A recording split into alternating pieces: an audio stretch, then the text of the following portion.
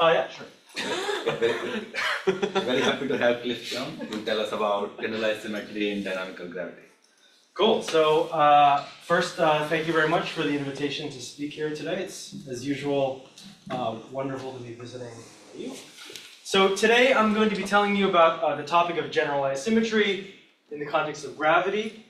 This is work with uh, my collaborators, uh, Ira Rothstein, together with uh, my many students, Maria Derda, Joon-Hwi Kim, Canisius Nevoa, and uh, Nabha Shah. So uh, as I, I'm sure uh, you're all well aware, certainly if you read hep-th or if you kind of know the work of your fellow colleagues, there has been kind of a broadening in our understanding of what symmetry constitutes and what it means in, let's say, the last 10 years or so.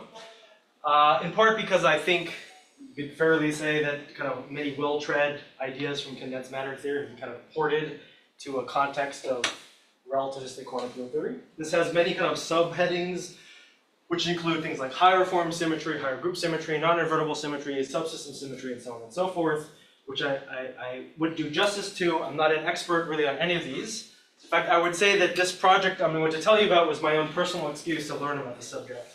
Uh, when I was uh, lecturing at, at the TASI last year, I was the only person not talking about generalized symmetry. I got back and I was like, I got to know what's happening, see, see what's up. So this is uh, part of, partly my journey through understanding this. This talk will be entirely about the first of these bullets, which is higher form symmetry. So again, this is maybe the audience that isn't all experts, uh, maybe slightly mixed. Higher form symmetry, uh, if you don't know what it is, it's kind of calling card, is that it acts intrinsically on objects which have extent, okay? So like objects which are on a line or on a surface or a membrane, they don't act on local operators.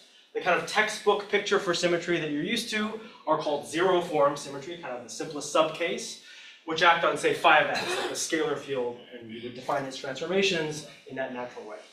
Now, by thinking about kind of these more exotic, more subtle symmetries, uh, I think it's fair to say there have been kind of some new perspectives uh, uh, on kind of very classical phenomena, including confinement, anomalies, symmetry breaking, as well as more recently some kind of forays into say kind of inspiring model building uh, approaches. Um, I think it's also fair to say that at present the kind of very fancy picture of this uh, so-called generalized symmetry, this broadening of our notion of symmetry, hasn't made kind of a, a real like silver bullet magical model building widget that we didn't know before. But it's early times, so in part I wanted to understand the subject to see if there was something that one could directly connect. And in, in, part, it's not too surprising we haven't learned like huge new facts about perturbative QFTs, uh, in, in, relativistic QFTs that are relevant to say standard model or particle physics. The reason ultimately is that we know how to UV complete many of these theories, incalculable, you know, renormalizable quantum field theories, and we can then just determine everything. So it, it's hard to find miracles when you can compute because you know the. Now that is not true in general for all types of theories. Gravity is a notable exception, where we don't know much about it in the extreme UV. We could speculate, but we don't know for certain. Indeed, uh, I mean, is, is, is, uh, is uh, I think fair to say, the kind of vast body of work on generalized symmetry has really been around gauge theories or quantum field theories, but uh, relatively little about gravity. There's been some, which I'll mention in a second, but not a huge amount. And this is, at least to me, seems kind of a shame because gravity is a gauge theory, in quotes, in kind of two senses one which is less precise and one which is more precise. So in the kind of less precise, this is well known, we can think of gravity as a effective field theory for a massive spin 2 particle which has non-linearly realized diffs. Okay? In the sense that diff redundancy is a gauge symmetry, it's a gauge theory. Okay, that's definitely in quotes. Not really a gauge theory in kind of the tech, in a kind of technical sense. But there is a sense in which we can frame gravity in a language that's really close to gauge theory. So uh, we can think of this as Gravity as a theory of uh, the local Lorentz group or the gauge Lorentz group. This has many kind of versions and incarnations. Uh, famously, maybe tetrad gravity, if you've heard of it, or the Vielbein formalism. This is kind of the, the, the underlying kernel of this. But also its many variations, which include Palatini, uh, tetrad Palatini, Plebanski, self-dual Plebanski. There's this kind of whole zoology of versions of gravity, which nominally seem different, but at least, let's say, broadly speaking, they're all equivalent to Einstein's general relativity, except the kind of auxiliary fields that have been introduced are different. That's the one way of thinking about them. They're basically different ways of re-representing ultimately a spin, a a massless uh, spin two degree of freedom. So in this talk, I'm going to be focused entirely on this kind of picture, okay? So uh, uh, for, for the kind of obvious reason that existing literature was already applied to the notions of gauge theories, and this is a way of formulating in that language. Now, uh, I should say, there, there's, there's, there's been, there's been some work, uh, not a huge body, but some work connecting to gravity, and they kind of come in two, two kind of flavors here.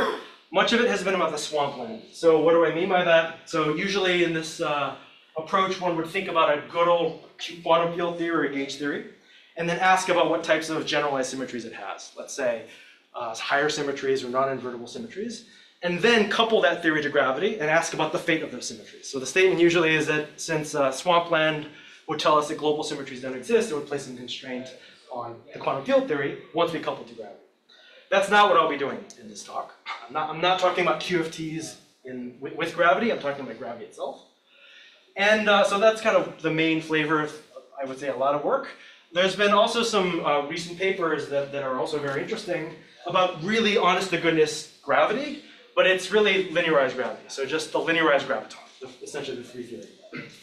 Again, that's a, a nice story with uh, many, many different groups, including uh, uh, Joyce, uh, and, and others, and Holland, and many other folks who kind of study various versions, but all for linearized gravity, so no self-interaction with gravity. Okay, so what's the plan for today? So the plan for today is I'm going to start with uh, gravity in the language of, of, uh, of gauge theory, and I'm just going to carbon copy the logic of everything we have already, others have already figured out, you know, a decade ago about Yang-Mills, but apply it to the effective field theory of gravity. So kind of, yes, So just one que- uh, Yeah. maybe question slash comment for, the, this slide. Yeah. There's yet, yet another perspective people have adopted to describe uh, higher symmetry in gravity. Yeah. It is via the ADS-CFT.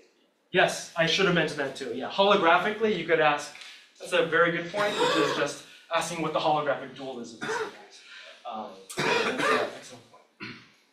Um, now, but again, for, for my, our purposes, I'm, I'm interested, it's still distinct from those pictures, in the actual nonlinear graviton interactions in an effective field of gravity, where kind of crucially, I will be caring about it in an EFT, where the dimension and topology of spacetime is fixed. So this will actually be pretty important for reasons that will become clearer.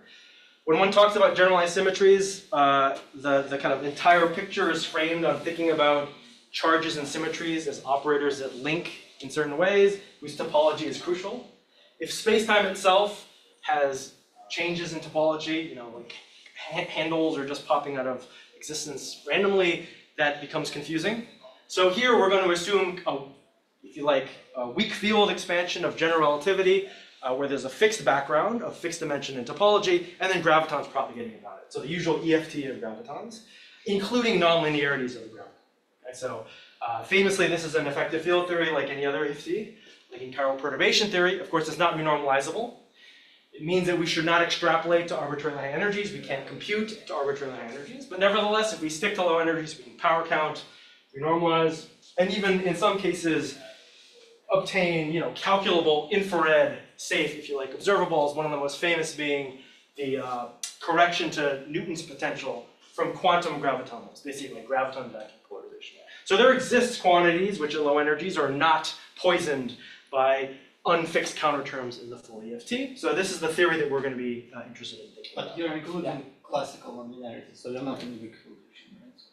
No, well, we'll talk about quantum. I mean, this is this is what I precisely what I mean by quantum. No, this but- includes quantum. Yeah, quantum, yeah, but classically, do you include, are you in weak field regime or are you including things like black holes, like do? Uh, very good. So uh, I will talk about a case where there's black holes, in fact, later on. So indeed, uh, uh, maybe we could put it this way. Yeah, uh, actually, I'll make many connections which will involve ADS-Schwarzschild black holes and uh, uh, uh, objects with charge and so on. So I'll get to that in a second. Uh, so I will care actually about classical backgrounds, even with quantum corrections. So I will litigate that quite deeply in the last third of this talk. Um, Good, so that's the framework. What's the upshot of the talk? So the upshot of the talk is by just copying what we already knew from gauge theory to this formulation of gravity, which I'll explain in case you are not super familiar with it. There are hidden higher symmetries, uh, perfectly analogous to the ones that we know from gauge theory. Uh, that's maybe not so surprising. What is more surprising and I think kind of interesting is we'll see direct connections to like known words and facts from classical geometry, classical general relativity. Okay, so like this will connect with things we already knew. So statements about uh, symmetry operators and line operators linking, giving you ward identities. These, actually have existing terminology already in GR, and that's one of the points uh, that I want to emphasize. So here's the outline. Here's what I'll uh, uh, start with. I'm going, to talk about Maxwell theory just as kind of a warm up. So this is really not for the experts, but for anyone who kind of doesn't really know what a generalized symmetry is. This kind of little uh, preamble will hopefully give you a sense of like what's interesting, why it feels deep, and how it kind of reformulates things you probably knew already in a, in a very elegant way. I'll then go on to Yang-Mills theory, and I'm going to go into this in a little bit of detail, just because the gravity case will be literally copy. Like you'll just see it's exactly the same. And I'm going to be very explicit, uh, constructing operators uh, quite explicitly, and then I'll conclude with uh, well, uh, comments and, and various future. So let's start with Maxwell theory. So, uh, okay, this is the Max, Maxwell action, just an action of a propagating photon. Uh, I'm going to be interested, let's say, in the electric, what's so-called electric one-form symmetry. And as I said, these symmetries have the unique property that they don't act on local operators, they act on objects with finite extent. Okay, so what are the charged objects and what are the symmetry transformation operators? So the charged objects are Wilson loops. So this is some Wilson loop I've defined on some contour, uh, shown by C or script C, uh, which is just an integral of this uh, gauge field in, in, in a loop. That's the object that will be charged. So something which is not local, it's integrated over a curve. The, the operator which, that, which implements the symmetry transformation is supported on a codimension 2 surface, although I'll be working in 4D, so it's a just two-dimensional surface of this integral of star f, which is essentially electrically integrated over some surface. Okay, so one of these is codimension 2, the other is And Q is quantized because you always think about compact. Uh, I'm going to be considering compact here. Yeah. So the kind of picture that like like 90% of discussions like this start with is a picture where there's uh, one curve which represents, let's say, the contour C, another curve which links around it, which is labeled by S. Here I'm working in kind of two plus one dimensional picture, so I've suppressed uh, dimension, so this red curve is a surface. And there's some intrinsic sense in which they are topologically linked. There's a linking number between them. Here, that linking number is one. But of course, you can imagine a different setup where they're not linked, and then the link number would be zero. So this is the sense in which topology matters. This link number is crucial for uh, this type of picture. And uh, what, what, what are the words topology enter? The words topology enter just because I think of this uh, symmetry operator as something which is intrinsically topological in the following sense. I can take the contour, uh, sorry, the surface S and contract it. Okay, slowly change it, and as long as I don't cross any other singularities like the one defined by W, its, its action on things will be the same, and the kind of picture people usually draw is that it contracts and then pinches off, and then turns into a phase, which is precisely the ward identity of the symmetry acting on this charged object. So again, maybe just to set the stage for like actual mechanics of how this works. When we talk about uh, the ward identity, it's actually not very mysterious. We have some operator U, we have some operator W. A and F are conjugates, canonical conjugates. So of course, if you were doing this in canonical formulation, they would have a commutator. AF is A comma F is one, so you commute them through and you'll get a phase. That's, that's kind of the entire content of this in some sense. Uh, I'll sometimes represent this ward identity in one of two ways. So one way is I'll call the path integral version. All that means is the following. Take the path integral and just insert these two functions, the Wilson loop and the symmetry operator. And the statement is that inside the path integral, this has the effect of having some phase, which is controlled by the link number. So if they link, they, you get a non-trivial phase. If they don't link, this is a zero and it's just a one. Okay, so linking is crucial to get some non-trivial uh, action. I'll sometimes state this in a slightly different way, which is a ward identity, which is kind of active. I think of this as an, as an object. It's not a local operator, it's a non-local operator because it's integrated over a contour. And this is just, it's rephasing that. Can think of that also in that way. Okay, so again, this is entirely for the uninitiated, but here's one of the kind of amusing features of this, which is that it gives perspectives on different phenomena that you maybe think are distinct, but are actually very much connected. So let's think about putting U and W inside the path integral in Maxwell. I now have kind of a choice, if you like. I could think of W as part of e to the is, the path integral, or I could think of U as part of e to the is. Obviously, it's like a matter of like nomenclature, who's with who. These are kind of two separate interpretations. Let's take the first interpretation, which is that W is part of the dynamics. okay, so to speak, it's part of the action. Well, this would look just like a charged particle world line. okay? Locally here, this is just a world line propagating forward in time. This is its world line, okay, and of course, very frequently in effective field theory, we'll even treat particles with this kind of world line picture, except its, its uh, trajectory is chosen by me be whatever that? So in this picture, this is a charged particle world line, and U, if you just look at what it is, it's some surface evaluated on a space-like slice, is just the electric flux at a fixed time. So it's an innocuous thing you're familiar with, which is electric Gauss law. There's a charged particle, we're measuring the electric Gauss law. If your Gaussian pillbox wraps your particle, then you get a number, if you don't, you get nothing. Okay, so this is the familiar statement of Gauss law. Now, if you flip things around, you can actually interpret, rather than W being the kind of object in play, you can think of U being the object in play. U is the thing inserted in the path integral. What does it look like? Well, I want to think of it as kind of a dynamical mode, so to speak, although, although it's not dynamical. So I put it in, uh, uh, in the time direction, so it's traversing in time. I pick some other direction z, so it has finite ex- uh, spatial extent. What it is is a string on the z-axis, which is extruded in time. So it's just a world sheet for an object carrying magnetic flux. So this is a magnetic flux tube. And the other object is simply the Aharonov-Bohm phase. Okay, so in other words, uh, this thing, which used to be the charged particle world line, is just measuring, it's something we're measuring in the background of this magnetic flux tube. So from this perspective, this kind of unifies two things we normally think of as kind of different. Gauss law and Aharonov-Bohm. In other words, a kind of four-dimensional god-like figure would not be able to distinguish between those two phenomena. This is the kind of picture where it's not teaching us something like super new, we knew these statements, but it unifies in this kind of elegant way. We're gonna kind of take this picture where we swap who's the particle, uh, who's, who's the charged object, and who's the symmetry operator, kind of continually in this talk, which is why I'm emphasizing this. here. But this is the kind of, uh, uh, the kind of thing that happens in the story, this is, as I understand it. Now, how would you write down uh, this symmetry? A common question to, what's, what's the symmetry, the action, and so on and so forth? How do you write down a symmetry that doesn't act on local gauge invariant operators? uh, on, on real local observables? Well, uh, here's, here's a trick for it. Okay, so in the literature, this is sometimes called shifting the gauge field by a flat connection, or when it's closed but not exact, and so on and so forth. But here's the moral of it. Okay, imagine you had a theory, you just did a gauge transformation. Okay, manifestly, a gauge transformation leaves everything invariant if it's a gauge invariant observable. So that's that's a triviality, that's a redundancy. But let's do something which looks a little bit looks like a gauge transformation, but isn't quite one. Okay. The sense in which it isn't quite one is that the gauge parameter, the, the gauge transformation itself, will have some kind of winding or cohomology, which is only measurable if you can kind of probe non-locally.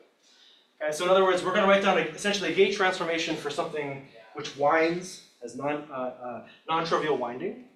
And the, the, the reason why it's invisible to local operators is that local operators aren't sensitive to winding. They only live at one point. So naturally, the only things that can even know about this uh, winding is something which is extended. Okay, That's kind of the moral of how you can use gauge symmetry as a, as a trick. So the statement here is I'm going to do a transformation that looks like a gauge symmetry, but is not one, in a crucial way, where the, the, it's not being a gauge transformation is actually the higher symmetry that I care.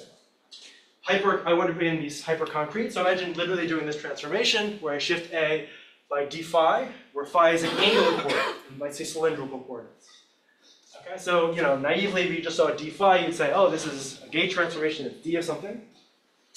But of course, this is not a proper gauge transformation because integral of the gradient of phi is not zero you go in a circle. Right? Normally, if I have a gradient of a single valued function, I get rid of a circle, I get zero, but I get two pi because there's winding.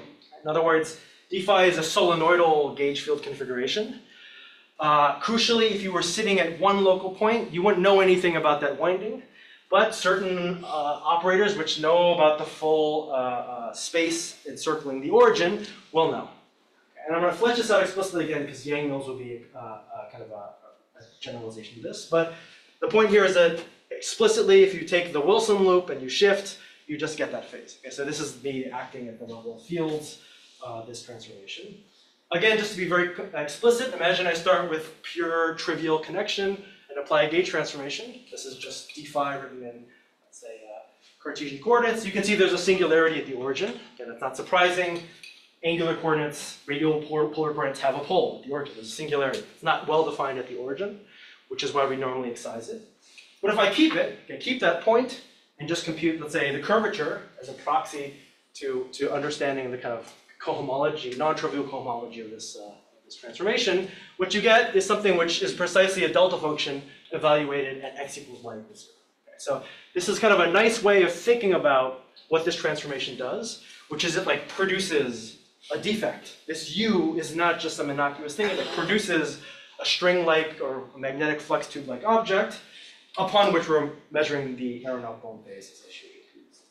So uh, this is the kind of story we're going to be doing for Yang mills and for gravity. Do a gauge, a gauge transformation looking thing, which isn't a gauge transformation because it has winding, and then uh, see what uh, kind of field configurations it induces. Now for gravity, we'll do this and be explicit because the F, as you can imagine, will become curvature, and then we can interpret this in classical GR. So the reason we're kind of getting down on our knees and like actually building these op- functions is that I want to do classical general relativity with these objects, and I will later on in this. But that's that's the story for um, uh, yeah. So so that's that's the transformation again. So maybe just to be super explicit, uh, here's what I mean by um, that gauge transformation being equivalent to U. U is this operator. It's localized to some two-dimensional surface. You can also write that as a four-dimensional integral over this delta function object, which as I just described is uh, simply this uh, closed but not exact gauge transformation. So I can rewrite this in the following way, and you can see that the action of u on e the is equivalent to shifting f by dc. So in other words, inserting u into the path integral is precisely the same as doing this transformation. It's just instructions for shifting a by this amount. Okay? And in doing so, you send w to this phase times w, as I, as I often. Okay, so the upshot is that the symmetry operator is topological and furthermore has kind of a physics interpretation as being actual stuff if you want to uh, think about them, if you like microscopic stuff. Okay, let's talk about Yang-Mills theory. The story is identical in spirit, but the technical, uh, there'll be some slight technical differences. So here I'm going to use the first order formulation of Yang-Mills theory because we're going to do the same thing for gravity in a bit.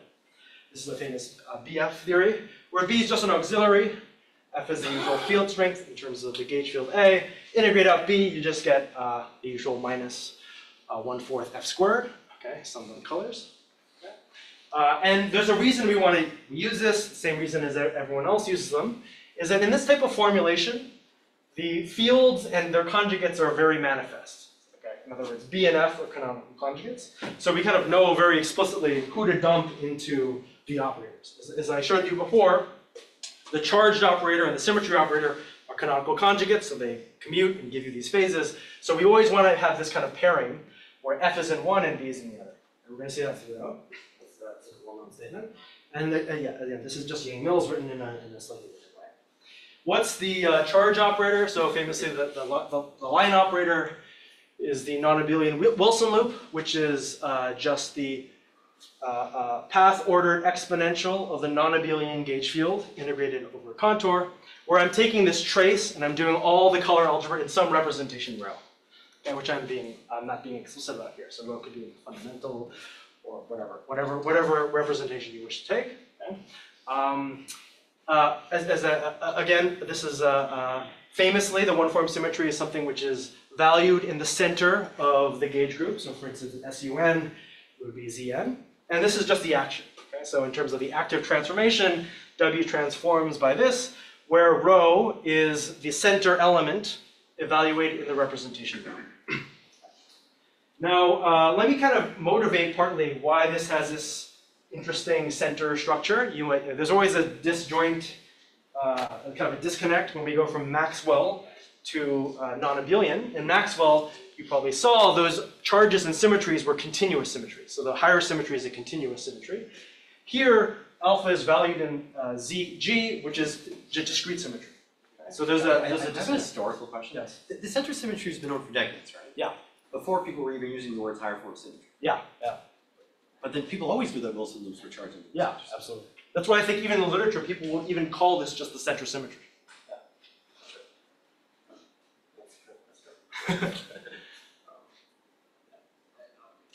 It's only kind of in the modern picture that we kind of like retcon that into like a different statement. But let me motivate the center symmetry. You could ask, why center? Like, you know, from a, an, an either a different on high principle. Well, let's again take the picture that we want to do something that looks like a gauge transformation. but has some winding in the gauge parameter. So will, it will be something which is invisible to local gauge invariant operators, but visible to operators that have finite extent. So we can just do a gauge transformation like this. This is how it transforms A and B. What does it mean to have it have winding? Well, uh, imagine taking this contour C and just kind of breaking it open, okay, just infinitesimally. So it has two endpoints, P minus and P. So the statement of winding, which is analogous to what we saw for uh, the- photon for Maxwell, was that we want that if we go in a full revolution, there's a mismatch between P minus and P plus. Liter- Literally, the gauge uh, parameter is mismatched between these two, two points. Okay, and as, uh, for reasons we'll see in a second, we will need this mismatch between these two points to be valued in the center. Let's see why. The reason why is the following. So let's say there was a mismatch, but you didn't know it was in the center. It was just some element of the group. What happens to this object? Well, we can plug it into the uh, plug it into the path integral. It's not the path integral. Plug it into the, the path ordered exponential. Okay, we get the usual rule, which is that it ends up pulling out of the, the exponent, and we get an omega inverse and omega. The trace brings them together to give alpha. Okay, so this is the expression. Okay? If alpha was a random group element, some random group element of, of, of the gauge group, then this is the answer, and we can't do anything because alpha doesn't, uh, in general, alpha wouldn't commute with the, uh, the path ordering. Okay? Uh, what that would mean is it would actually matter kind of where in the path you insert alpha. So in, other words, uh, in this picture, kind of picked some place to cut, but I could have picked a different place to cut with some mismatch. It needs to be that no matter where you pinch this thing off, the answer is the same, which forces alpha to be in the center so that you can commute it fully out, so it's essentially a number, and then you're left with rho of alpha. Okay, so from this point of view, in terms of a kind of winding uh, gauge transformation, the center valueness is really so that this thing acts topologically. If I couldn't pull alpha out, then the Wilson loop wouldn't transform as a Wilson loop times something. It would transform into just a different object. Can I ask a question there? Yes. So it's clear Yeah. that making alpha be in the center is sufficient for that, but is it obvious it's necessary? Uh, I think you could prove it's actually necessary also. Uh, But I haven't thought about, I haven't thought about trying to prove it. But here, yes, I, I, I agree that the argument as stated only says it's sufficient. So it's meant to motivate other existing known statements that the center is the, is the higher symmetry. So I'm just motivating. Let's not consider that. Okay, we can do the same, uh, we can be very explicit again. So this is just me being hyper explicit. Building a gauge transformation that winds in the angular direction. Okay, this is just the non-abelian analog of what we saw before. Uh, the only kind of point here is that there's some C here, which is some element of the gauge group. Uh, so, some some uh, generator, uh, sorry, generator of the gauge group. And uh, there's some condition that it must exponentiate to one precisely to give this mismatch. Okay, so in other words, this is chosen so that the mismatch is center valued. Uh, here in the case of SUN, this is just an element of Z. Okay, this is me just being explicit. Again, it's the same story as before with, the, with Maxwell.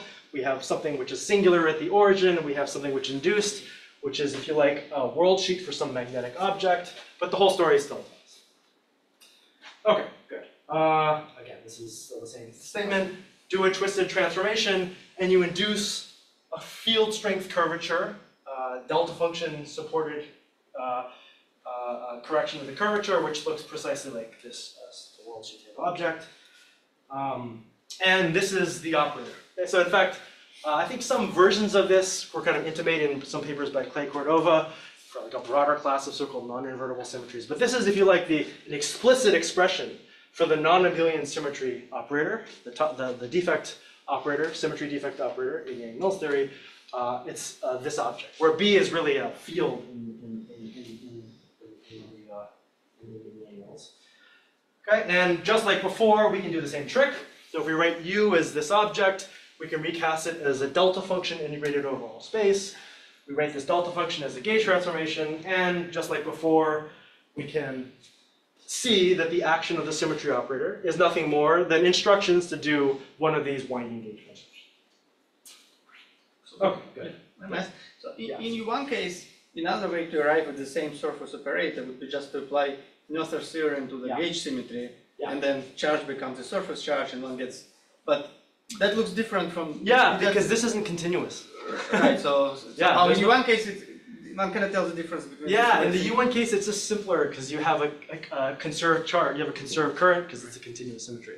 The kind of intrinsic subtlety here is that you don't have Q. There's no Q to exponentiate because it's not a continuous symmetry, it's a discrete symmetry. So here we've built, uh, I feel like those, that we built the symmetry operator, but there isn't like a local conservation. But one might think, try to do the here the same thing, also apply just another theorem to gauge symmetry, and then we'll get some surface charges, right? It looks reminiscent of it, but you have to ask at what point will the center valuedness. of- Exactly, but at Yeah, what point? exactly. And I think it's on, on the action of W. Ma- Maintaining that it's a topological operator will force you to have alpha not be an arbitrary element. That's kind of what I just said. Um, uh, it- it's, a, it's a separate constraint. But I feel like this is just another way of saying what other people have already known forever, uh, which is that the center symmetry acts as a high, as a one-form symmetry on both. Okay, good. So that was all, that's all background, okay? What we're gonna do is copy that and talk about gravity. Again, this is maybe a- another topic that maybe not hundred percent of everyone is, is, knows in the back of their head, which is tetrad Palatini gravity. Let me kind of briefly summarize what it is. But if I had to say it, uh, in, in words, essentially, it's the BF formulation of gravity. You can write gravity as a BF theory. When you've heard the word, if you ever heard the words Plebanski gravity, it's BF theory, but for gravitons. Okay, let's see what it is. Okay, so um, there's kind of two separate moves I'm making. So one is the introduction of a local Lorentz group, okay, which is why there are these capital A, capital AB type indices. These are local Lorentz indices, lo- local Lorentz vector indices. Uh, so uh, uh, these are like the gauge group. Okay, I'm gonna stick to four dimensions here, and I should also say I'm gonna.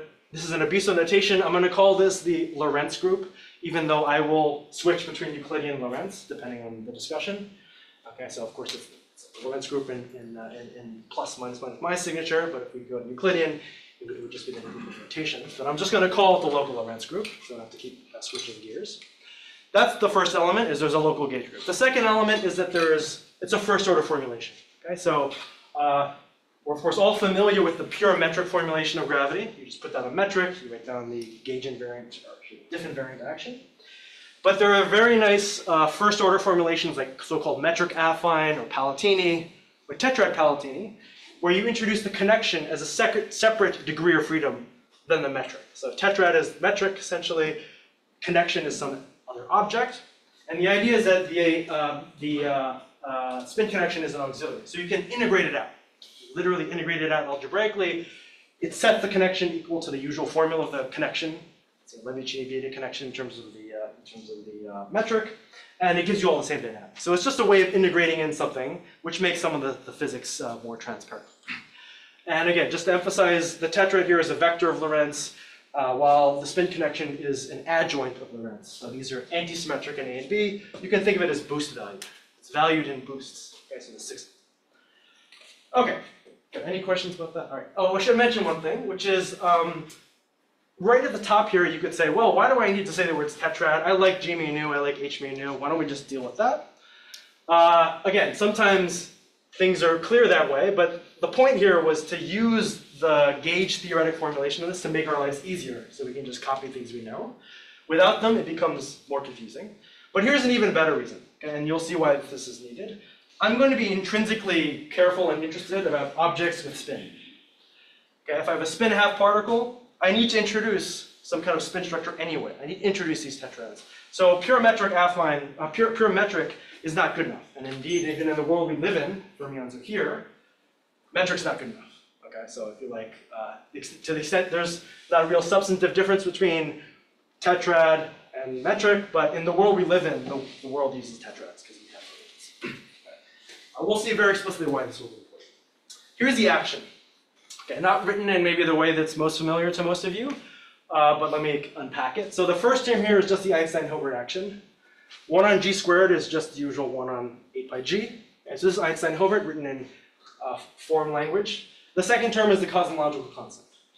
Okay, so in case I didn't, uh, I didn't emphasize it before, I will not necessarily be an asymptotically flat space, this discussion. In fact, everything I'll say will be independent of that. Okay, so lambda here is the CC. And uh, yeah, okay, just a matter of algebra to show that this thing is equal to the usual root gr, root gr, and this is the, the cc. Okay. Uh, here, uh, r which is the curvature associated with the spin connection, is the Riemann curvature. Okay, so it's a two form in space-time. There's uh, mu and nu indices that I've suppressed here, and then also has two uh, Lorentz indices. So this is the full four-index object. I've just suppressed some of its indices. Okay, so this is this is Einstein-Hilbert plus cosmological constant. If you vary the two degrees of freedom, which are the tetrad and the spin connection, you get these two equations. One which is vanishing of torsion, the other is the Einstein field equations, written in maybe a little less familiar, uh, familiar. Okay, good. So, so uh, this is this is if you like, you, you just walked in, you could see this is a gauge theory where all the ABCD indices are, are uh, gauge indices. Now we can put it kind of even more strongly in the kind of language of the way people think about higher symmetry by identifying what's known as the Pl- Plebanski two form, which is a realization that in the action I just wrote, uh, the tetrad kind of shows up in the, in the following combinations in terms of a two form called B, uh, in addition to its uh, internal Hodge dual star B. Okay, basically, you can take the formulas I just wrote and write them in terms of these B objects. And now this is precisely a BF type structure. So this is the part we're using four dimensions, I guess, is this Plebanski part? Yes, so here I have used intrinsically uh, Plebanski. There exists Plebanski in higher dimensions actually also. So it's, it's not actually crucial. It's just nice because I can kind of put stars easily. But actually I should say all these, uh, we didn't do this analysis in our paper, but this exists for general dimension. You just have more E's, E wedge E wedge D. Okay, you can put, put, put that into a, into a Plebanski higher form object. So th- this whole story has existed for, for ages in, in general. Yeah, But the kind of crucial point is that the B field isn't some just random object, it's naturally the conjugate to the curvature. Just like before, we had B be the conjugate to the field strength, now it's the- the conjugate to the Riemann curvature. Um, and the CC is the B squared term, okay? Now I'll sometimes set lambda to zero, have it be not zero, and so on. Um, you can do other kinds of really fun things, like you could actually integrate out B if there's a cosmological constant. So I just mentioned this because this is a fun thing I learned. Uh, if you have a cosmological constant, um, Ted Jacobson and others later on showed that you could just integrate out B entirely and just be left with a formulation of gravity in, let's say, ADS or DS, which is purely in terms of the spin connection. So it's like purely, it's called pure spin connection formulation, but there's no metric, it's just spin connection. It's a kind of interesting field theories to, to study. Of course, they're not in flat space, so it's hard to compare with things we know, but you can do all kinds of fun things with this, with this kind of operation. Okay, now, good, so that, that's just the setup of what, that's what tetrad palatini is. It's a first order formulation that has intrinsic gauge symmetry, which is the local Lorentz group. Uh, what are the charged objects? So Yes. this bit just, I should just think of it as a field redefinition for the tetrads? Oh, very good. Yeah, so um, right now I'm just identifying B as E wedge E, but in the canonical uh, so-called Plebanski formalism, B is a legit just full-on two form, and it has a constraint which enforces that it's equal to E wedge E. So uh, the way Plebanski works is B is fully dynamical, and it's a constrained dynamical field.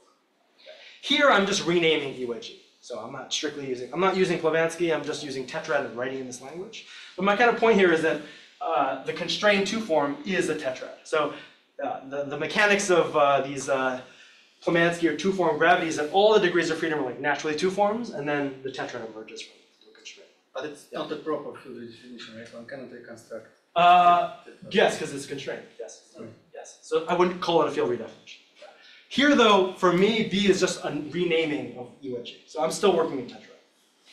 So Yeah. n- none of these field redefinitions have restricted you to the uh, two derivative theory, right? Like um, you, Yeah. like Riemann squared would play nicely with all of this. for Yep. example. So in fact, I'll get to that. I mean, this is uh, something, yeah, the, the experts will know, but for these higher symmetries, they're very difficult to spoil because they don't act on local operators. So if you start adding corrections like f cubed, r cubed, or r squared and outside of four dimensions, you're safe. And in other words, you can always end up building some object which is still representing the symmetry. Uh, it- it's, it's kind of the, the good thing and the bad thing for getting higher symmetry to tell you something uh, new about interactions because it doesn't act on local operators. So it's hard to break it, but it doesn't give you selection rules on the operators that exist, sadly. Uh, But yes, uh, I'll get to that also. I'll, I'll talk a bit more about that later, but yeah, higher dimension operators, that's all something we can include there in the Okay, now what are the charged objects? So as you can see, I, I introduced uh, I have a spin connection, which is, I didn't say this, should be clear, it's like connection, okay, it's the analog of a gauge field, it's the adjoint. Um, so this is a thing that is very naturally in a holonomy, like literally the holonomy from, uh, from, from relativity. So the charge operators are now going to be the exponential of the spin holonomy along a curve, computed in some spin representation. Okay, so rho is in a spin representation of your Lorentz group. I haven't told you what the Lorentz group is. I'm going to litigate closely the different choices here. Famously, in higher symmetry, it really matters the global structure of your group. You can't be sloppy and just look at the Lie algebra. Global structure matters, so I'll, I'll talk about that in a second. Okay, but the point is that uh, rho is valued is, is in some rep of the Lorentz group, and the one from symmetry is the center of the Lorentz group, or whatever appropriate center for G. Yeah, and again, I'll, I'll talk about which, which ones we were interested in uh, in the real world. Uh, and this is the this is the action. Okay, so if you like, this is the expectation, right, based on what we know from Yang-Mills. These are definitely the charge operators. Of course, our work was like, what is the conjugate? But given what I've said, it should be kind of obvious what the conjugate, what the U operator should be. We'll get to that in a second.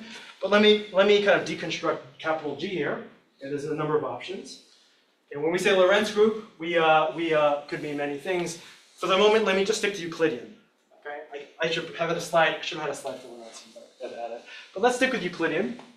Okay, there's many uh, uh, uh, gauge groups G, which uh, are kind of locally isomorphic, but are different in terms of their global structure. You maybe used to think of SO4 rotations. But uh, as is usual, we have these kind of double cover type situations where we can think about spin 4, which is SU2 plus SU2, whose various uh, modding out by Z2 gives us these other groups. Okay?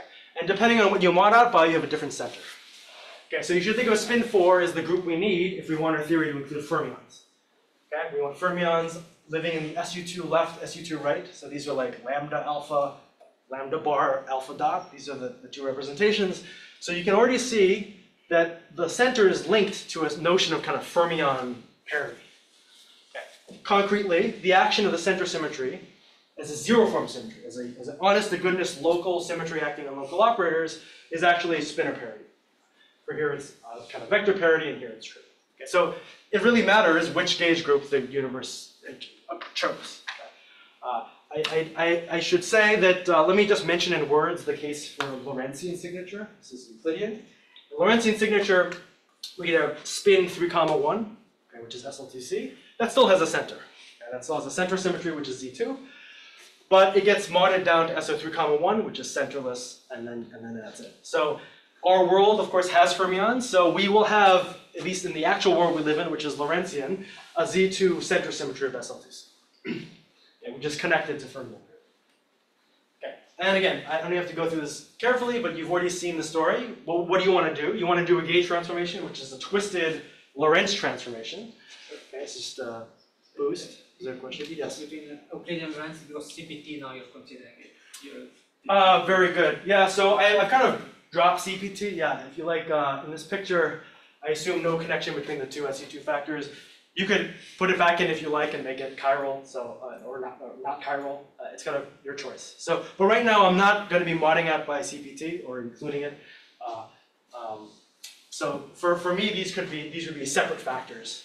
Uh, you could ask about the if you want to impose the Euclidean image of CPT, then I would this. So this is the Lorentz uh, transformation. Again, I don't. Again, you've already seen these formulas. All by the same logic. We learned that the spin holonomy requires this to be in the center uh, in order to be topological. So this is all just me constructing the operator, uh, constructing the, the the the local Lorentz boost, which implements a symmetry. Okay, so like hyper explicitly, the statement is you have a charged operator, which is the spin connection, which is secretly the graviton, integrated over a line. And when you transform it, it transforms under this space, which is valued in the center of the group. okay, uh, as before, again, it also has support on a surface, exactly for the same reasons. It's all carbon copy. Okay, now here's here's where something interesting happens that isn't in Yang-Mills. Uh, and it's kind of more of an interpret, interpretational statement, okay? Which is uh, the defect operator, it's exactly the same as in Yang-Mills, except I've replaced the adjoint color indices with Lorentz indices. That's all these are, okay? And if I just write B in terms of the tetrad, you get this object. And this is, at least when we saw, realized what this object was, was very suggestive, because it definitely looks exactly like an area operator. Okay. This is a, this is a codimension two integral of metric stuff dotted into some lambda, which is defined uh, by the center element, divided by 4g, uh, 4gn. Okay, this one half is naturally part of that normalization. It's kind of highly suggestive because it looks like area. Okay? But crucially, we know it's not literal area. Why is it not literal area? Because this is a topological operator, which means that you can deform it, blow it up, decrease it in any way, and its effect and its action on things will not change. So it's not actually an area operator, but it has the dimensions of one and looks a little bit like, know, like Hawking's over 4G. It just has that reminiscence to it. These types of operators actually show up in loop quantum gravity, which is, for clear reasons, they take formulations like Plebanski, equivalent versions of, uh, of general relativity, and try to quantize it. So that's why these kinds of objects naturally show up, in addition to the Hahn. Okay? But here we're arriving at this object, if you like, from completely different means and, and from different uh, motivations.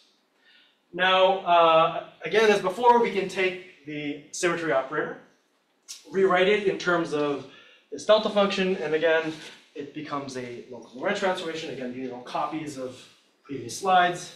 And we see that the action of the symmetry transformation is again just uh, instructions to induce a curvature singularity at some point. Okay. Now before, we had this interpretation of a field strength singularity, so it looked like a magnetic flux tube. Now it's a curvature singularity in Riemann. And uh, it's very now enticing, and I'll tell you what this thing looks like in GR. Right? We just have a formula for R mu nu. We guess what is this thing? What would we call this if we were doing uh, starting from the point of view of general? Okay. So what is the defect? What is the defect corresponding to the symmetry? So it's very easy to see. I mean, RAB is this. This is just me writing a formula from previously. It's a curvature singularity induced on the surface, which has curvature. So you can reverse engineer the stress tensor for this. Okay, so just use Einstein's equations to determine what like putative uh, stress tensor or source of source of the gravitational field would induce this uh, this correction. And this is what it is. It's not Nambu-Goto. You, you might have expected it to look something like a string world sheet, but it has very strange antisymmetry properties. Okay. Uh, I won't I won't actually go into the, the, the nitty gritty details of this, but this thing, uh, if you study it, you'll realize actually has both energy momentum and nut charge. Okay, so it has the analog of magnetic charge in general relativity, and in fact it has them in equal amounts, so it looks like it's self-dual. So just like you imagine like a self-dual dion in, in Maxwell, this is kind of that analog but for an extended object. So it's a string. We didn't want to call it a cosmic string because a cosmic string only has uh, uh, only has um, stress energy. It has kind of some um, similarities to the so-called Misner string, which is the uh, uh, singularity inside uh, Taub-NUT. Uh, but it's what it is. We, we call this because it's kind of intrinsically chiral. Yes. Should I think of this as carrying angular momentum then? Uh, Um, maybe deep, s- deep within its core. Yes. Like Because if- this if is a, it's, it's a very, yeah, it's, it's something which is lo- highly localized. Right. But you're kind of asking like, what's inside that solenoid? Yeah. And yes, it has I all mean, kinds in, of stuff. in, in other words, okay, so this is in three plus one dimensions, if I mod out by the dimension along the string and treat this as some object in two plus one dimension of Yes. gravity. Yes. Is this some known two plus one D, is it like a charge spin? Not black that, hole? not that we saw, so we actually, uh, um, we're, we're, it could be our own ignorance, because there's a huge body of GR literature and solutions that you, you're more aware of than I am. But as far as we could tell when we did the deep dive, we couldn't find literally this object. Okay. Um, so as far as we know, no, but that's subject to some buried paper from the, the eighties that maybe does. But the kind of crucial point is it certainly wasn't observed that was related to higher symmetry. Um, So in terms of the singularity for the GR, it's just kind of usual kind of overflow type singularity we have seen in curvature. sorry, say that again?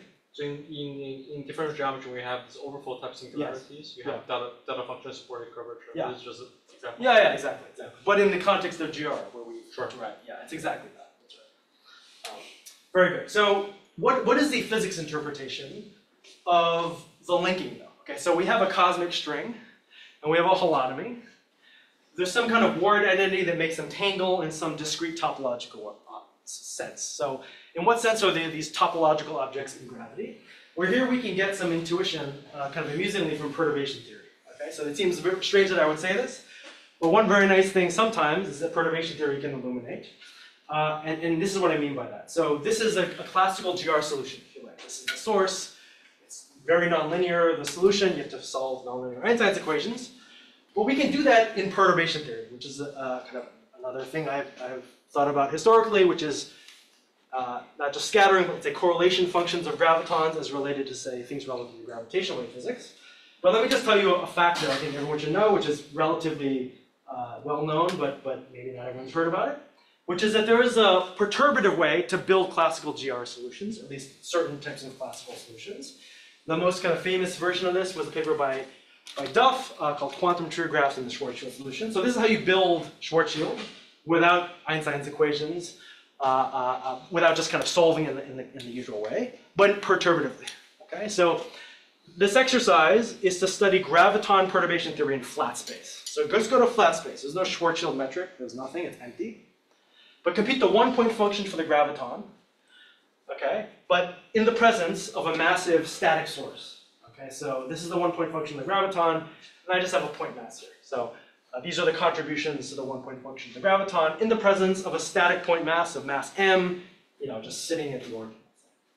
So you could compute literally these flat space Feynman diagrams. These are all in flat space. Nothing is in curve space. These are all well-known formulas. You have to do some Fourier transforms. It's not that complicated. But what Duff showed was that you start reconstructing this series, which at least in this calculation was the harmonic gauge metric. Okay, so like literally. This is of course Newton's potential. We know this. But this is maybe the first non-trivial piece related to the Einstein-Infeld-Hoffmann correction to Newtonian uh, Newtonian dynamics. Uh, this is the, this is uh, uh, actually what's called the post-Minkowskian expansion in general relativity. But this whole thing resums. Like if you could do every order in G Newton, you just get this function. In fact, a, a couple weeks ago, the group at Niels Bohr Institute literally did the infinite sum in perturbation theory with flat space diagrams and got the metric. Calculation. But the point is, perturbation theory is a way of reorganizing this classical solution. Okay. Now, it may seem to violate your intuition. I thought Schwarzschild was some big, complicated, non-perturbative blah. Well, it's a little safer than that because Schwarzschild, as G Newton goes to zero, has an analytic expansion. Okay, the point is, it smoothly goes to vacuum as G becomes smaller. G Newton becomes smaller. Now, other types of uh, solutions you might worry about, but here uh, that is nice. So why, why am I bringing this up? So I'm bringing this up because we can think about the Ward identity in perturbation theory. Okay? And it will be somewhat illuminating and tell us something about what it signifies in gravity. So what's the Ward identity? I take u and w and I put in the path integral, so that's what this bracket means. And it should come out as some, uh, some, some phase, okay? Let's do this calculation order by order in perturbation theory. Now, as you can imagine, there's no finite order in perturbation theory that will give me the right answer, because these are all finite coupling? But let's nevertheless organize the calculation in that language. Well, I can think of u and w as both sources for the graviton, right? This is inserted in the path integral. I think I can think of u as sourcing the graviton and w as sourcing the graviton. So hyper explicitly, u is uh, is just some surface source for u edge e, and w is some line localized source for the spin connection. These are just gravitons. Okay? So I can just now draw the gravitons and connect these diagrams. Literally enumerate all the diagrams, and what do you get? So uh, so this this line these should be linked actually, but let me not worry about that. It's hard to draw. This is the line. This is the surface S. This is the contour C, and then we want to just connect gravitons between them. This thing sources gravitons, they can be emitted and absorbed on this side, and we just want to draw every combination. So you can do this, and you can just power count in G Newton. So again, G squared is the analog of the gauge coupling, but it's essentially the, coupling strength. There are certain contributions which don't even talk to both sides, like the renormalization of U itself. It's separate renormalization. So of course, doesn't care about the Ward identity, it's just renormalizing the definition of the operator. We have other things that only renormalize W, which again, there's no interplay. And then there's cross pieces. So in, in fact, there's diagrams that look like this, which go as coupling to the zero. They are dimensionless. Why do we care about them? We care about them because if I have a Ward identity that is, you know, uh, root of unity to a power of an integer, there's no G Newton in it. I can take G Newton to be 2 G Newton, half G Newton, it doesn't matter. It's coupling independent. So I care precisely about contributions that are G Newton independent. Okay, I can just enumerate every perturbative piece that comes from that. And what you find is it has the form of this kind of many emissions from this and one landing on this uh, landing on this uh, other curve. Precisely, it's meant to mirror this kind of fan structure. You'll notice every one of these diagrams has the property of it being a one-point function sourced by something else. In other words, classical general relativity is computing one-point functions in the presence of, back, of other sources. Similarly, the contribution of diagrams here, that I just mentioned, is the one-point function for the spin connection in this background. Okay, now what is that? Okay, well, it's, it's, uh, just give some name to this. So this is the one-point function of the spin connection. This is U. This is that uh, chiral cosmic string object I mentioned. Okay, and this thing is the dimensionless linking number. So I actually know a priori that this is the entirety, diagrams with any number of gravitons coming off, being absorbed, is that link number. And what is this in classical general relativity? This is the uh, vacuum expectation value of the spin holonomy in this background.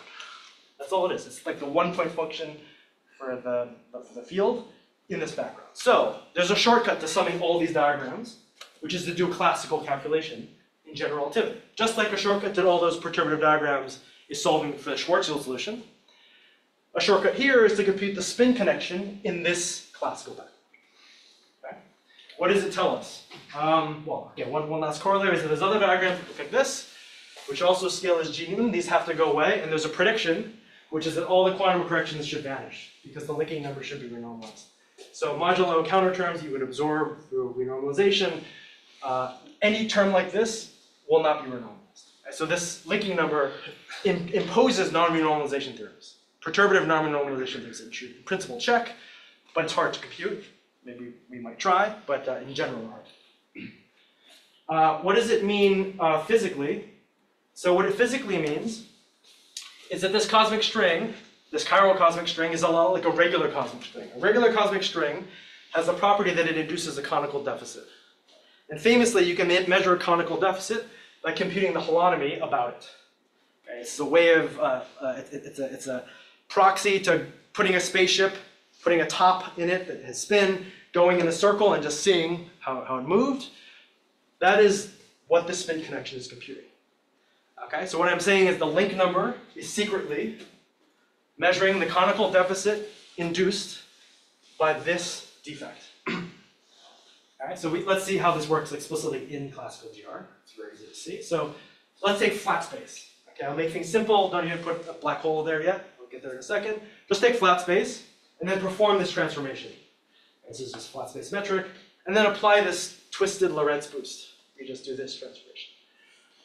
So what, what's, what's, what's kind of cool about this is that this um, has no effect except to introduce kind of a defect, a curvature singularity at a very localized region, which is the surface. Okay, That's, that, that- that's here on the z-axis extruded in time. Okay. But we can now just compute the classical holonomy. So what I mean by that is like place that background source and then calculate Einstein's field equations and solve them. And what you get is the metric. You get so you get the um, spin connection in that background, and you can just integrate it, and you can just check that it's minus one. Okay, so the way of uh, physically interpreting it is this minus one is the uh, top in your spaceship like processing and coming to a I feel like a, a minus one flip of itself in rotation after uh, after encircling the defect that we introduced. Okay. So we did this also with explicit calculation of ADS Schwarzschild. So it's kind of too long to write here, but we took an ADS Schwarzschild background. Uh, actually, ADS Kerr Schwarzschild, I think is some example. And then we put the defect in. Doing so, we get a spin connection, which is complicated, depends on ADS length, uh, lots of different parameters. But if you just integrate it, you get the same minus one. Okay, I'm just going to draw a picture of, uh, so this is just the Schwarzschild metric, we apply this boost and then compute the holonomy. Uh, let me, this is a picture of kind of what, what I'm saying, which is uh, we put a black hole background in. We then performed a gauge transformation that was twisted that induced a string defect that I've chosen to lie like outside here, outside of my spaceship's path, which defines the holonomy contour. And when you compute this, you get some value, but if you move the uh, defect inside the holonomy, you get a relative minus one. So if you like, it's like if you like experimentally measurable, quote unquote, because this holonomy is sensitive to whether it's wrapping this object. So the overarching upshot here is that the analog of the topological linking is essentially a conical deficit induced by a cosmic string-like object, which is such a big deficit, it's a minus one. It's like a 180 deficit angle uh, uh, uh, mathematically uh, coming from, from, from this. Okay, so we can think of, um, yeah, either way you want to think of this as either the spaceship or that is a spaceship, but it's a conical deficit. Okay, yeah, so chiral cosmic string worldsheet is the source, we can write it down, it's explicit, and then we can compute holonomy and it exactly. So this is a check, if you like, of our calculation. Okay, any questions about that? If you put it inside the horizon? Yeah, we, so we, we, we, we, wanted somehow to avoid that because we got a little worried, but it still worked. But again, it's, um, let me put it this way, I think you would worry if it crossed the singularity. Uh, because there's like another defect there, if you like. Uh, the horizon is an artifact, of course, got coordinates where it's not even there, so it may be not too surprising that if you just go slightly inwards, it had no effect. But it, it, it works fine inside, as long as you don't hit the curvature singularity. Yes? So this reminds me of a uh, two plus one D solution in gravity, or, or equivalently a, a pathology that happens with uh, cosmic strings with large uh, defect angles, which is if you take them Time, and- time machines? Yeah, yeah, I was Yes. gonna, I was gonna ask you about the Gott time machine. Yes, so um, the, the, the, there's the Gott time machine, there's also um, various NUT charge, or is it Misner string? Yeah, it's kind of like the, what's it called, wick rotation of a co- cosmic string. They all have possible issues with causality. We totally didn't check it. We're of course aware of it, we, thought about this. It would be interesting to see like, are these somehow acausal or what? Now, what's crucial though, is it doesn't, whatever it does, it can't ruin the theory. Why? I can take this object and contract it to like as small a point as I want. It's topological. So in some sense, you know, the, this is the kind of GR backstory for it, but its effect can't be something that will like make everything acausal. It's really just there as a symmetry transformation. Yeah, I mean, I I was really asking, is it possible that the, that the Gott time machine, where you get um, closed time-like curves by encircling, you know, rapidly moving cosmic strings, is, is that somehow like um, a rotation of this, uh, of, of U into like the, Right. the TZ plane, like the, the, As far as we could tell, it wasn't equivalent, because this is a very special chiral combination of cosmic strings and something with NUT charge. But again, maybe some other even more twisted version exists. Um, But we didn't look at the causality conditions, again, because U is a symmetry transformation operator. We're just kind of giving a, a story for what that defect is. Good, so uh, let me, this is maybe the last technical thing I'll say, let me talk about explicit breaking. Okay, I didn't mention this at all, but uh, like, like most symmetries, you can take a higher symmetry and you can explicitly break it. The way you do that is you add charged particles, uh, uh, which essentially screen the Wilson loops. So the idea is, uh, the kind of picture people draw is you could draw a Wilson loop, you could link it with something, but if you have charged particles that can be pair produced and open up the Wilson loops, then you can un unlink things. Okay, so your topology is out the window if you have kind of pair production. Uh, so so uh, so so famously, let's say in Maxwell theory, if you add electrically charged particles to Maxwell, to free Maxwell, it explicitly breaks the one form symmetry. In fact, it does it in a really bizarre way, which violates almost everyone's EFT intuitions, which is that that breaking is undetectable below the threshold of tho- those massive particles. They, they never appear in any order in the derivative expansion. It's very strange, uh, but it's just true. Uh, the same thing is going to happen here for gravity, except the things that will screen are spinning matter fields. So let me let me show you a picture of what I mean. So imagine I took a Wilson line, but it doesn't close on itself. It has two endpoints. So what I was saying before is that if endpoints could exist, then I could try to wrap this with some some some uh, surface, but I can just unroll it. So I could either like pinch it off here or just unroll it and get a different answer. So there's no symmetry if this thing can have endpoints. But to have endpoints and be gauge invariant, I need to put something here to soak up those indices. So what can we soak it up with? Well, let's say I took the Wilson line in a fermionic representation, spin a half representation. So I told you rho could be whatever you like. Let me take it to be in a spin half representation, either of SL2C or of uh, uh, a spin 4 if you want it to be Euclidean. But the point is you can put down, if you have fermions in your spectrum, you can end these operators. In other words, it's like spin screening. I can just plop down a fermion here and a fermion there, and then I explicitly break this in. Okay, so this is a way, the, the kind of terminology here would be that the spin holonomy is endable or screened. Now, that explicitly breaks the symmetry. Uh, it has kind of an amusing connection possibly to swampland. Okay, so in the swampland setup, people will talk about higher symmetries. They are global symmetries. As I said before, they're not gauge symmetries, they're global symmetries. Global symmetries are driven by quantum gravity. So what happens is, if you have a, a, a higher symmetry in a QFT that's not gauged, then it has to be explicitly broken. To explicitly break it, you need to add charged particles, which gives you various completeness uh, of spectrum statements. So the completeness, uh, spectrum completeness and swampland conjectures are actually related to no global symmetries in this way. The completeness of spectrum is needed to screen the lines that would be uh, exhibiting some kind of exact global symmetry. Something similar happens here, except with fermions. Okay? So what it says is that um, uh, if you're if it's not gauged, again, if it's not gauged, if you have an honest to goodness global higher symmetry, uh, uh, one form symmetry corresponding to the spinor holonomy, then fermions should exist. Okay, so it's kind of a strange. Uh, they do exist. As usual, it's always like this in swampland. Weak gravity conjecture satisfied uh, by the world we live in, but in a putative other world, you could ask uh, what this means for global symmetry. And essentially, the statement is there is a symmetry under which fermionic valued holonomies rephase, and you want to break that symmetry. I mean, this is a, like, it's a weird statement, but you're assuming that the gauge group You have to assume exact. That's a very good point. So you have to not gauge it, as usual for for any swampland statement. Maybe it's not a global symmetry because you gauged it, right?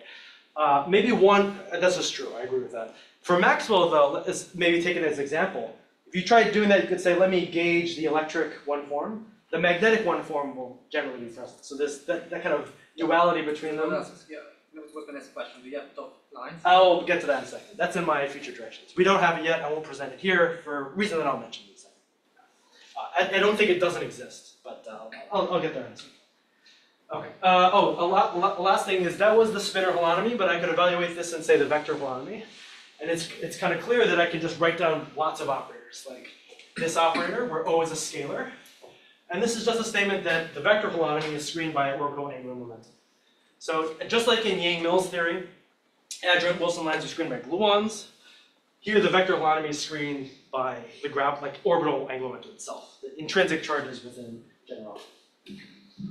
Okay. Oh, sorry. Am I, uh, am I going over here? Uh, maybe I'll just mention one last thing about this before concluding here. This actually implies, forget swampland, this implies a symmetry of the standard model below the neutrino mass. Because below the neutrino mass, there's no spinning fields, there's no fermions, there's no fermionic fields. And thus, the spinor holonomy exhibits an exact one-form symmetry. Okay, that's in the standard model. This is analogous to the exact one-form symmetry below the electron threshold Uh, it, it actually, this simple statement really changed my view of symmetries in the standard model. Like the common statement that people make, which is that when the Higgs VEV is zero, there's no enhanced symmetry, is just false. That's not a true statement. There exist higher symmetries that are enhanced at small electric symmetry. Uh, sorry, your question. Oh, yeah, just curious. What, Yes. what if you put it on the manhole that does not exceed bucket? Oh, um, well, I guess in some sense that would be analogous to just taking the Lorentz group to be to, to, to gauging, like gauging this uh, higher symmetry. So, for instance, if you just said SO3 comma one, you can't even include fermion, and it's just not present. So, as is usual, if you talk about Yang Mills with PSUN or SUN, it's your choice. and, and if you choose a gauge group that has no center, it's not very interesting. For our universe, we have it because fermions exist. so it's definitely not SO3 comma one. The Lorentz group is not SO3 comma one in our universe. Okay, let me conclude. Sorry, I'm going a little late. Uh, so we proposed a, a one-form symmetry construction, which is a carbon copy of Yang-Mills to gravity. It applies to the EFT of gravity. The symmetry operator is simultaneously an area operator, like very reminiscent of Hawking's 1 on 4G area, but also constructs a, a defect, which whose kind of origin in general relativity we're not we're not quite sure of. Maybe it exists, maybe it doesn't, but it's very strange, kind of exotic. And the link number, okay, the kind of intrinsic feature of linking of objects is the statement of conical deficits, which also link holonomies with string. Uh, let me fly through my future directions. We could go to higher dimensions. We could go to higher curvature corrections, which will work. So these top two things will just work, as is not surprising if you know how this works mechanically. Magnetic charges you would think would be trivial too, but there's an annoying subtlety, which is Hodge star in the theory of gravity introduces metric dependence. Because the star and the non-star turns one from a form to one which is not a form, because you can't integrate it like one. That annoying subtlety was enough to make us pause, but I don't think it's a deal breaker. We haven't done it. You could, so, so the magnetic case is something we want to do, but haven't, haven't done. You could argue that some swampland type papers by, um, well, by Vafa and, and, and Jacob McNamara who study cobordism, which is, it's, it's very, it's very much like the magnetic version of, of gravity that includes topology change. It's kind of this, this, this story. But uh, that's not quite the spirit of your, what you're asking, and we haven't done this construction just because we, we wanted to put a bow on what we had. Um, you can do everything in ADS and DS, as I mentioned. It would be very interesting to study this pure connection theory, which is just gravity described by a gauge boson that's valued in Lorentz. Just that would be just an interesting field theory to study. Should have all this story hold. Uh, the last two, I think, are maybe the more interesting features. So I didn't talk at all about higher group symmetry, but there's like a more sophisticated, you know, one level up story, where if you have a theory with multiple higher symmetries. Uh, for instance, uh, axion Yang-Mills, which has both a one-form symmetry from the Yang-Mills and a two-form symmetry from the axion. You get all kinds of interesting fusion rules and mixed anomalies between those higher symmetries, which impose really cool facts that are relevant in some sense to phenomenology that relate, say, the axion string scale to the, the, the energy to, to the mass of the lightest uh, colored quark. That whole story of having a higher group, I think, will just apply. Exactly work here, except for axion graviton, so through the gravitational anomaly, and it will place a bound on the Peccei-Quinn scale relative to the lattice fermion. Okay, we haven't worked that out, but mechanics of it seem just obvious that it will work. And last but not least, this is by far the most speculative, is I haven't said anything about phases of gravity. Usually the usefulness of, of W is it's an order parameter for whether the one-form symmetry is spontaneously broken, or explicitly broken, or what, um, or not broken at all. Uh, famously, if it goes as an area law versus perimeter, it tells you whether confinement happened. So one thing that I think just no one has asked, which, which seems puzzling, is what if you just compute the spin holonomy in various gravitational setups? How does it scale? Is it area law? Is it perimeter? And so on. And you already find some interesting things, which is in ADS, it doesn't scale quite with, uh, it seems to scale with like an area law. There's some preliminary results where it kind of has strange scaling depending on your cosmological constant. You could speculate whether that means something about the phases of gravity. Really embrace the analogies with Yang-Mills, but it's not even clear what a phase of gravity would mean. It doesn't define like what, you, what, what, what, what is there in EFT that this could be describing. Uh, we have speculations, but uh, we don't know yet. But a calculation might illuminate that. Okay, that's all I want to say. Uh, sorry for going late, and thank you for your time. Yes. Usually we say that in gravity, kind of only asymptotic observables really defined. Yes. So what existence of the symmetry means in terms of S matrix or CFT correlators right. when we think about it? As usual, like whenever we have any object which isn't the integral over all of space, it's either a local operator or a line operator. It's actually, strictly speaking, not different variant because you have to pick the Right. curve. You have to address it. This is the same issue that you would have if you want to talk about swampland. You're talking about a Wilson loop in a Yang-Mills in gravity. What defines the loop? So intrinsically here, we have to imagine defining relational observables. So I, I, we, we got to the joy of learning about this whole uh, subsector, which is how to dress a quasi-local observable gravitationally, and there's a million ways to do it, which I think are not super explicit, but at least in principle exist, which is to take the, the let's say a point, phi of x, and just dress it with uh, uh, either geodesic into the pa- past or future with a graviton, or define clocks and rulers and build it this way. I, I believe that this will all be robustness because practically in the FT, we have a no- notion of locality defined by the background metric, by the actual coordinates. And in the EFT, I think it should be well defined. Uh, you could worry about the same thing for like LIGO, because like our colleagues at LIGO measure things, they get Nobel Prizes for it, and LIGO is in a place. LIGO is not a delocalized integral of all of spacetime, it's here. So you could ask, wait, what are they measuring? That seems to contradict what many formal people say about there being no local observables. So how do you square these two things? Practically, I'm sure LIGO measured something, I'm not worried. It has to do with dressing relative to something else, um, and we're imagining kind of the same, same construction. Uh, But do you think there is, will be some way to formulate it? Let's say I think about ADS gravity. Yes, yes. Is there some CFT language to say what, what this symmetry? Well, yeah, so you could always again try to take a holographic dual and then just reframe it that way. So as I said, you can do this in ADS. So you so what, what, what is this? we, did, we didn't we didn't we haven't tried to figure out what it is, but that would be a very interesting question. Put it in ADS, build the operator, and just extract what it could mean in CFT, and then maybe it has some variant variant meaning which doesn't uh, need to have intrinsic. So in the usual dictionary, the ADS dual is logic operator boundary or be dynamical springs. Mhm. So for example, the, the description of one form symmetry in virtual parameters in terms of ADS five, type to be ADS five times five in terms of D one, for. Right, right. And when you push onto the boundary, it becomes the logic operator. So presumably it's that, but for a different gauge group, whatever that is. But we, it's something we want to understand, but the kind of, I don't know, my opinion actually having thought now deeply about uh, gauge invariant observables in gravity is that there's actually very little that's been concretely done to like actually build such objects, especially given the experiments measure them. So that's actually one of our ongoing things is to practically build the dressing and see, see, see, see what comes. Does anything change if the sign of the cosmological constant is positive? So they- Uh, so in this story, no. So in fact, you can see kind of trivially why. Uh, sorry. Uh, back here. So I wrote this BF. Sorry, I wrote this BF type structure. Okay, like if you like, the sign of this will flip, and depending on when you integrate this out, you'll kind of like something that's ghost-like or not ghost-like. That's kind of strange. Okay, but you can see even the mechanics of the symmetry transformation doesn't care because all that matters is that these are conjugate. So in fact, you could put f of b here. You can make this any function of b, and this all still works.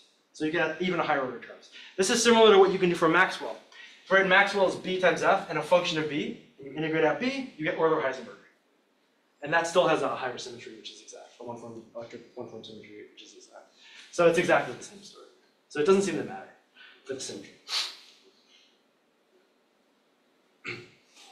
So you mentioned about in relation relation to the magnetic defects where um there's this corpor- cobordism, work on the secret cobordisms where the- there's involving the topological chain. Mm-hmm. So how would you uh like think about how to incorporate that in this effective field theory approach? Very Uh, tough. I mean, I would almost say that's Because like you have a fixed background. Yeah, yeah, this is like the coming from the opposite end. We're working at a fixed background, small graviton fluctuations interacting nonlinearly. They are working in the maximal topology changing regime.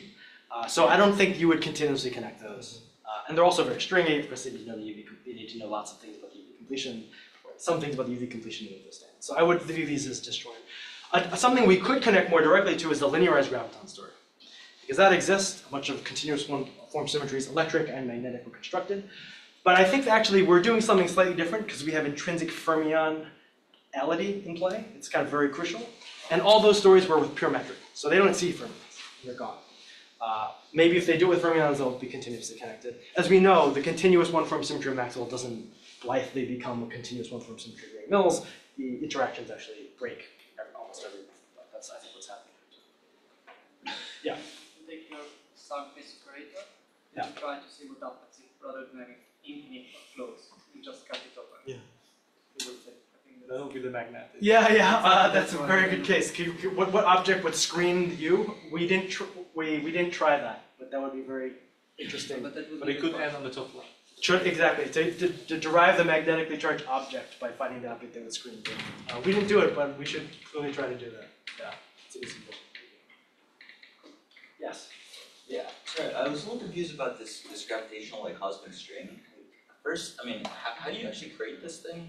And then, and then second, I mean, I, I was a little confused about the analogy you gave with E and M earlier, with like Gauss's law versus like, uh, for some point charge versus its, you know, some world line, and you can interpret it as like some, Mhm. uh, you know, magnetic field, some, some line defect, right? Mhm. So wait, is it, is this, is this string also like have three dimensional space, or is this a string also in like a time-like direction? Oh, it's a world sheet, so the world sheet is two-dimensional. You should think of it as a string, which is say, ex- in one, on the z-axis, which is extruded in time. Okay. So it's a cosmic string, let's say literally the z-axis, and it's just sitting there as static. Hmm. It's the analog of the magnetic flux tube I mentioned for Maxwell, for which we're computing the Aharonov-Bohm phase. Right, The analog of that is the holonomy, which is the conical deficit of the induced cosmic, uh, cosmic string object. right, so it's a point like in physical space. No, no, no, it's string-like. It, it's static moment, it's on the z-axis, it's a string. So it's a string world sheet, so it's a Oh, string at one time, extruded in time. Right, It's a two-dimensional world sheet, gotcha, gotcha. one-dimensional object on a slice. So, so how do you, how do you create this thing? Well, the point is, it's created by the operator U. So just like U for Maxwell starts with nothing and it produces it, it's, uh, it's, it's, if you like, it's the same as the electric Gaussian pillbox. You created it by inserting the operator. It's exactly like that. It's, it's created by my insertion of the symmetry operator into the path integral. So in other words, the action of the symmetry is the same as putting that object into the space. Yeah, does that answer your question? I mean, uh, like, I, I guess how does that physically manifest in like the universe? Um, I mean, how do you create this operator? If an insured charge. Sorry. You would just place that charge con- contribution down. So I wrote on some stress tensor down, like Right. literally just put it down in space and then it would be produced. The team you knew I wrote, just Right, it right. down.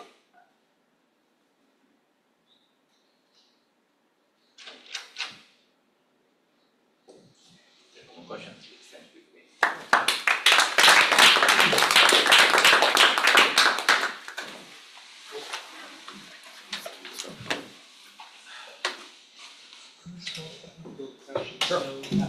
The lambda you have